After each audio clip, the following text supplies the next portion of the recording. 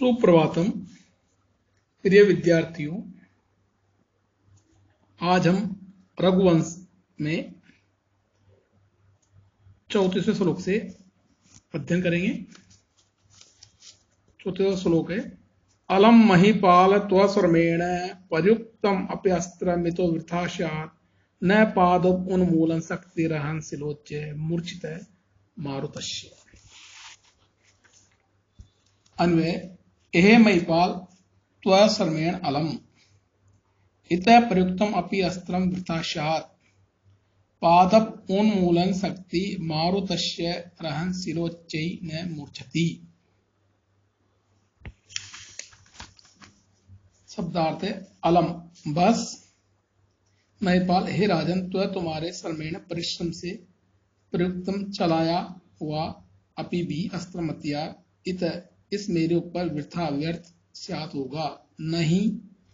पादप उन्मूलन, पेड़ों को खाने वाले, शक्ति रखने वाले। रहम को चय पर्वत के विषय में मूर्छित काम करता है मार्गदर्शक कौन का हिंदी अर्थ है हे राजन, तुम्हारा प्रयास करना व्यर्थ है। इधर चलाया गया अस्त्र व्यर्थ हो जाएगा। क्योंकि वृक्षों को उखाड़ने वाली शक्ति से युक्त वायु का वेग पर्वतों को नहीं उखाड़ सकता। हिंदी व्याख्या है, हे राजन, मुझ पर बाण चलाने का प्रयत्न मत करो, क्योंकि इससे कोई परिणाम नहीं निकलेगा। यदि आप बाण या अन्य कोई अस्त्र मुझ पर चला भी दो तो भी इससे मेरी कोई हानि नहीं होगी। इस प्रकार वह अस्त्र सर्वथा व्यर्थ हो जाएगा। आपको ध्यान होना चाहिए कि वायु के वेग में वृक्ष को उखाड़ डालने की तो शक्ति होती है, पर वायु का वही वेग पर्वतों को टस से मस भी नहीं कर सकता। सिंह की उस उक्ति से स्पष्ट है कि राजा अपने पराक्रम से सामान्य शत्रुओं को तो नष्ट कर सकता था, किंतु दिव्य शक्ति युक्त सिंह के सम्मुख उसका पराक्रम भी निष्फल था। अग्रिम पेत श्लोक है। कैलास गोरम विषम आरुरक्षो पादार्पणानुग्रह पूत पृष्ठम अवेहि माम किंकरम अष्टमूर्ते कुंभोधरम नाम निकुंभ मित्र अन्वय केलास गौरम वृषम आरुक्षो अष्टमूर्ते, पादार्पणानुग्रह पूत पृष्ठम किंकर निकुंभ मित्रम कुंभोधर नाम माम अवेही। शब्दार्थ है केलास गौरम केलास पर्वत के समान सफ़ेद वृषम बेल पर आरुक्ष चढ़ने की इच्छा रखने वाले पादार्पणम चरण रखने की कृपा से जिसका पीठ भाग पवित्र है।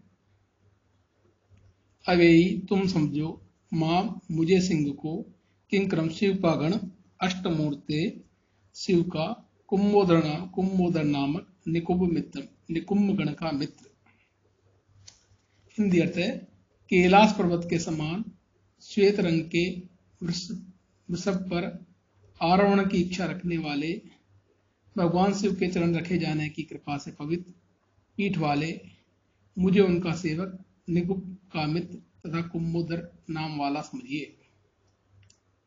भगवान शिव के वृषभ का रंग कैलाश पर्वत के तरह श्वेत माना गया है। जब शिव अपने वृषभ पर चढ़ना चाहते हैं तो वह सिंह की पीठ पर पैर रखकर चढ़ते हैं। इससे सिंह अपनी पीठ को पवित्र मानता है। क्योंकि वह भगवान शिव की कृपा समझता है। इस प्रकार सिंह भगवान शिव का एक सेवक था। वह शिव के निकुम नामक चर का मित्र था और उसका अपना नाम कुंभोदर था। यहाँ सिंह की उक्ति से न केवल उसका परिचय मिलता है, बल्कि उसकी दिव्य शक्ति का भी संकेत मिलता है। जो सिंह भगवान शिव का सेवक है, वो और निकुम जैसे चर का मित्र उसकी दिव्य बलवत्ता में कोई संदेह नहीं रहता। इसे सुनकर राजा दिलीप की खिंता अवश्य ही कम हो गई होगी। छत्र अमुम पुर पश्यसी देवदारुम पुत्री कितवसौ विशब्धजेन यो हेम कुंभ स्तननी स्थानम स्कंदश मातु वैशम संज्ञा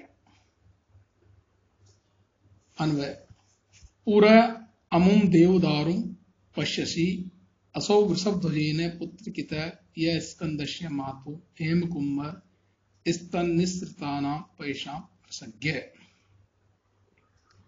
अमुम इस देवदारू को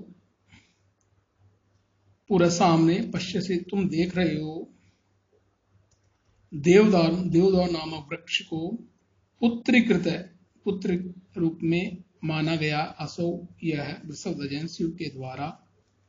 यह जो देवदारू हिम कुंभ सोने के स्तन स्तन से निकले हुए स्कंद से कार्तिकेय की मातु माता पार्वती के पहचान दूध का रसज्ञ स्वाद जानने वाला। हिंदी अर्थ है, सामने इस देवदार वृक्ष को देख ही रहे हो। भगवान शिव ने इसे पुत्र कृत माना है और ये कार्तिकेय की माता पार्वती के स्वर्ण घट रूपी स्तनों से निकले क्षीर के स्वाद को जानता है। ये सामने ये सामने खड़ा हुआ देवदारू का वृक्ष, वृषभ केतु भगवान शिव के द्वारा पुत्र के रूप में स्वीकार किया गया है। अर्थात भगवान शिव इसे पुत्र के समान इसने प्रदान करते हैं। इसे पार्वती पुत्र कार्तिकेय की तरह ही पार्वती के स्वर्ण घट रूपी स्तरों से निस्तृत क्षीर रस, क्षीर का रस ज्ञात है। कार्तिकेय तो अपनी माता के स्तनों का दूध पीकर उसका रस जानता है, जबकि यह देवदार वृक्ष पार्वती के द्वारा स्वर्ण निर्मित घट से सींचे गए जल का स्वाद जानता है। इससे स्पष्ट है कि पार्वती अपने पुत्र को तो दूध पिलाकर और देवदारों को प्रतिदिन पानी से सींच कर दोनों के प्रति समान रूप से स्नेह व्यक्त करती है। कंडूय माननम कटम कदाचित वन्य द्वीपेन उन्मथिता तो गश्य अथैनम अथै नमद्रेस्तनिया सुसोच सैन्यान मालेडम वासुरास्त्र अन्वय कदाचित कटम कंडूयमानेन वन्यदीपेन अंश्यतुम उन्मथिता अथ अद्रे तनिया असुरास्त्र आलेडम से नान्यम इव एनम सुसोच शब्दार्थ कंडूयमान रगड़ते हुए कटम कपोलों को कदाचित किसी समय वन्य जंगली हाथी के द्वारा उनमें छील दिया गया। प्रक्षाल को अश्य इस देवदारू की हत्तो एनम इस देवदारू को अद्र हिमालय की तनिया पुत्री सुसो दुखी हुई सेनानम कार्तिकेय के आलिडम घायल छतम इव समान असुर के अस्त्रों से। हिंदी अर्थ, किसी समय कपोल स्थल को खुजलाते हुए जंगली हाथी के द्वारा इसकी छाल उखाड़ दी गई, जिससे पार्वती को असुरों के अस्त्रों से घायल हुए सेनापति स्कंद के समान इसके बारे में बड़ा शोक अनुभव हुआ था। हिंदी, एक बार किसी जंगली हाथी ने इस देवदारू वृक्ष के तने से अपने कपोल स्तर को खुजलाना शुरू किया तो इसका तना छिल गया।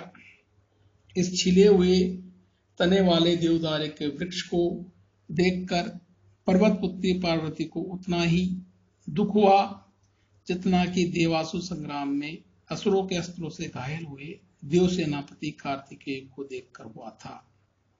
इससे पार्वती का अपने पुत्र कार्तिकेय तथा इस देवदारू वृक्ष के प्रति समान रूप से वात्सल्य तथा उनकी पीड़ा के कारण शोकातुरता प्रकट हुई है।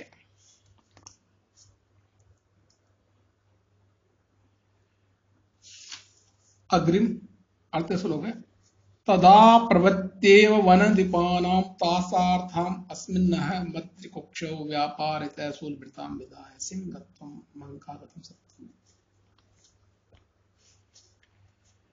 अन्वय तदा प्रवृत्ति एव शूलभृता वन दीपानम त्रासार्थम अंकागत सत्वृत्ति सिंहत्वं विधाय अस्मिन् अद्रिकुक्षो अहम व्यापारित शब्द तदा प्रवृत्ति तब से ही वन दीपान जंगली हाथियों को त्रासा डराने के इस अहम में अद्रकुक्ष पर्वत की गुफा में व्यापार नियुक्त कर दिया गया। सूर्यता शिव के द्वारा विधाय प्रदान करके सिंह सिंह का रूप अंक पास में आए हुए जीवों पर निर्वाह करने वाली तभी से सूल पाने भगवान शिव के द्वारा जंगली हाथियों को डराने के लिए अंक में आए हुए जंतुओं से जीवन यापन करने में समर्थ सिंगत्व प्रदान करके इस पर्वत की उपत्यका में मुझे नियुक्त किया है। हिंदी व्याख्या।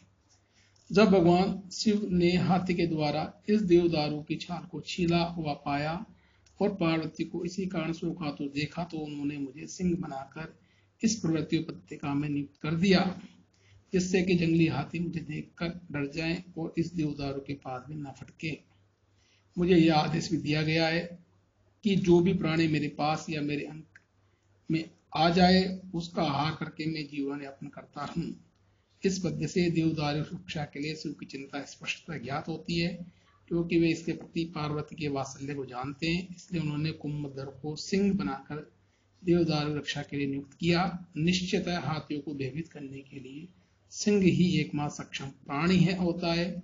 भगवान शिव ने अपने चर को सिंह रूप प्रदान करने के साथ साथ ये निर्देश दे दिया कि उस उपत्यका में आयो जंतुओं को आहार बनाकर वो अपना जीवन यापन करता रहे। उनतालीसवा। तस्यालयम ऐसा क्षुधि तस्य तृप्त प्रतिष्ठ काला परमेश्वरेण उपस्थिता सोनित पाराणाम में सूरदिश चांद्रमसी सुदेव। अन्वय क्षुधि तस्य तस्य में तृप्त अलम परमेश्वरेण काला ऐसा सोनित पारण सूर्यदिश चांद्रमसी सुधा एवं उपस्थिता।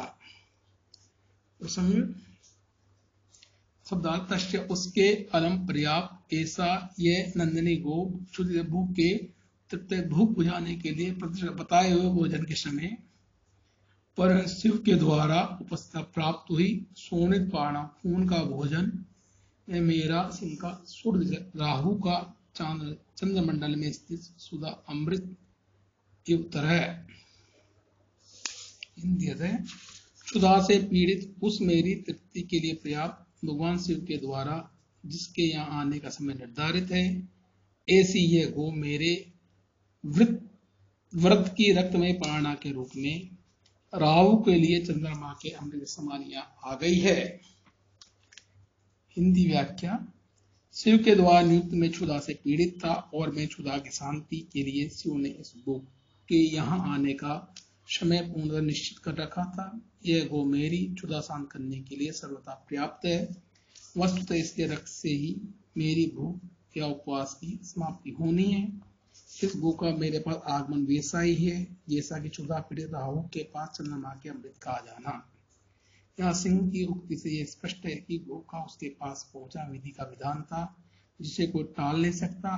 दूसरी यह भी कि जिस प्रकार राहु की क्षुदा चंद्रमा के अमृत से शांत होती है,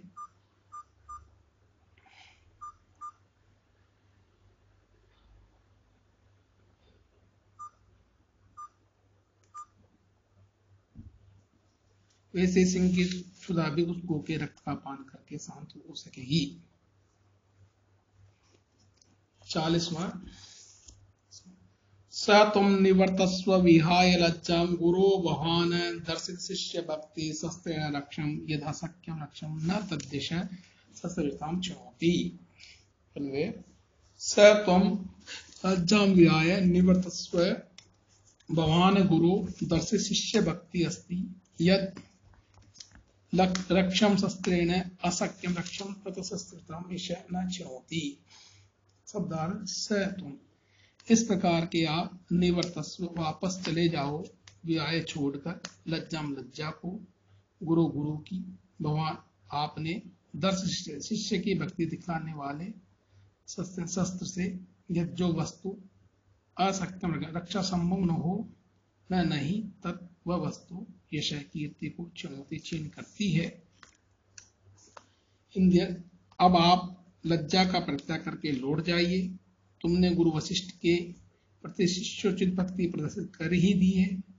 जो रक्षण वस्तु शस्त्र के द्वारा रक्षा के योग्य नहीं है, वह वस्तु शस्त्रधारियों की को नष्ट नहीं करती। हे राजन, जब अब आपको यहाँ से लौट जाने में लज्जा का अनुभव करना उचित नहीं है, क्योंकि आपने इस गो की रक्षा के लिए बाण चलाने का प्रयत्न कर ही लिया है। उसे सुनकर मुनि वशिष्ठ को आपकी शिष्योचित भक्ति भावना संदेह नहीं होगा? वे समझ सकेंगे गो की रक्षा करने में आपने कोई लापरवाही नहीं दिखाई।